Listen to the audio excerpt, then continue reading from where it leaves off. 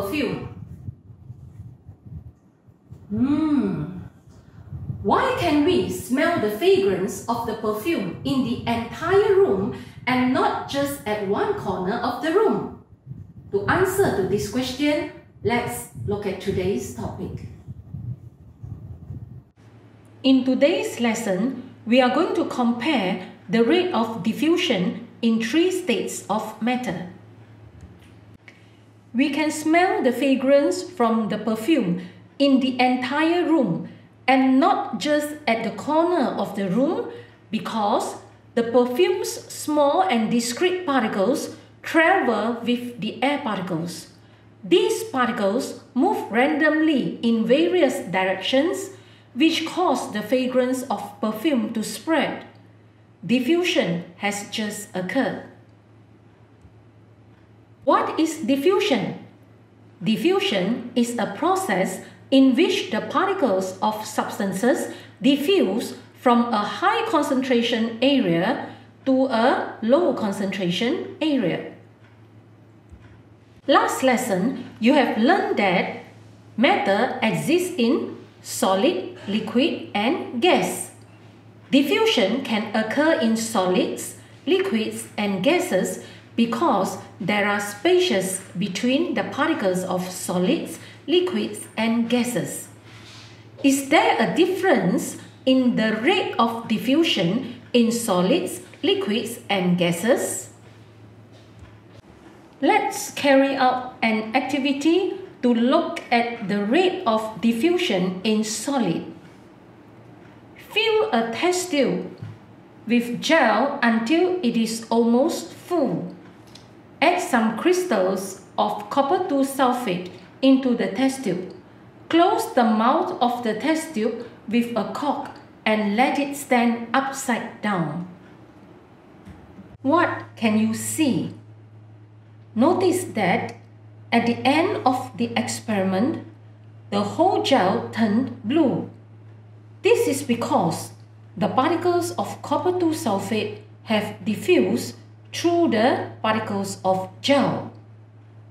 Is the process fast or slow? Is it easy for the particles of copper 2 sulfate to move through the spaces between the particles of gel? Notice that the whole process takes about 5 days.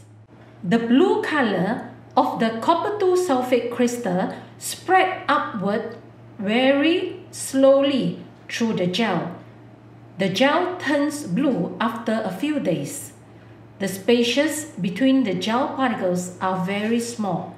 These small spaces allow the particles of copper 2 sulfate to spread slowly into the gel. This means that the rate of diffusion of particles in solid is very slow. Next, let's look at the diffusion in a liquid.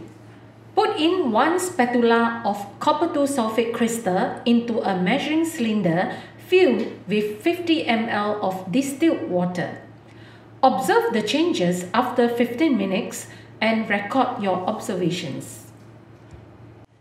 The blue color of the copper 2 sulfate crystal spread faster through the water.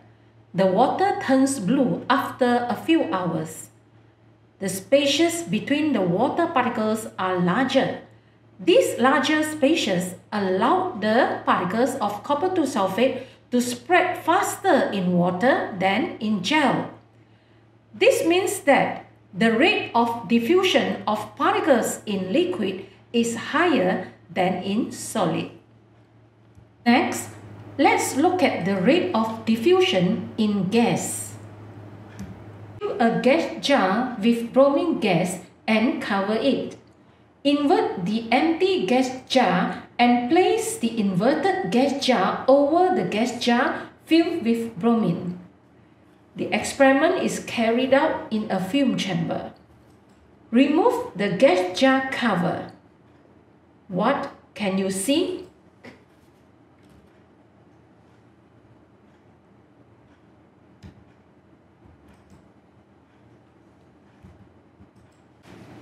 The bromine gas diffuses upwards and spreads evenly throughout the gas jar filled with air within a few minutes after the gas jar cover is removed.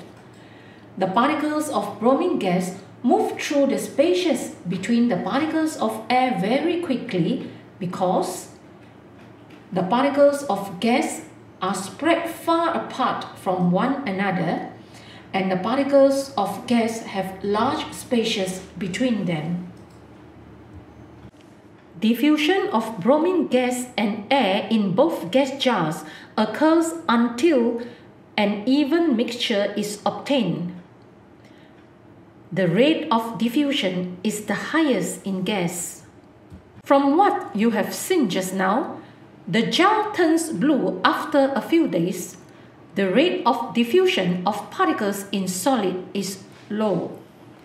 Water turns blue after two hours the rate of diffusion of particles in liquid is higher than in solid. Bromine gas filled both gas jars after 15 minutes. The rate of diffusion of particles in gas is the highest.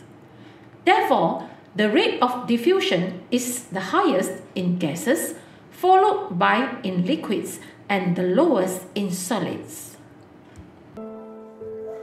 I'm eating curry noodles. Mmm, nice smell. Delicious. Can you smell the aroma of the curry too? Of course you can. Based on what you have learned just now, explain how you can smell the curry. The curry vapor is made of tiny and discrete particles that are carried along with the air. The particles of curry diffuse through the air and reach your nose very fast because the air particles are spread far apart from one another and have large spaces between particles. Therefore, you can smell the aroma of the curry even though you are not eating. That's all for today's lesson. Thank you.